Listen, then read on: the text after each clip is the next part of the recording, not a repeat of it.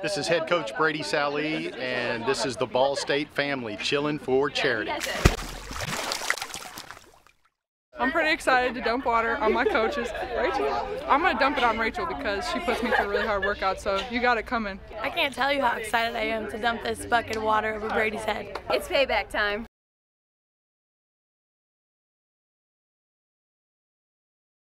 Here we are in front of Worthen Arena on the campus of Ball State University. We are all set to participate in Chillin' for Charity, a great fundraiser for the Yow Foundation and Play for Kay. I've been called out by Jeff Walz at the University of Louisville, and I gotta say, my players are pumped to douse me and my staff with water. So I'm also gonna call out three coaches that are gonna love every bit of this. Coach Sue Guevara at Central Michigan University, my man Kevin McMillan at UT Martin, and last but certainly not least, Brian Neal at Xavier.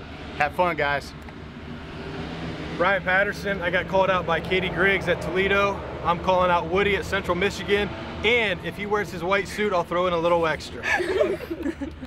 I'm Rachel Galligan. I was called out by Ashley Earley at Vanderbilt and my friend Mallory Luckett at South Alabama. I am calling out Shaylee Lenning at uh, Northern Colorado, and I'm, I'm calling out my girl Ashleen Bracey at UAB. With her dog warrior shit.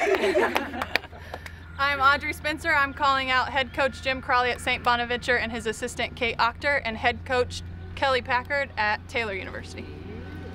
So, without further ado, girls, are you ready? Yeah! They just came from the weight room, so they can lift all this, no problem, okay? Remember, I'm taking names. All right, we're ready on three. One, two, three! Woo!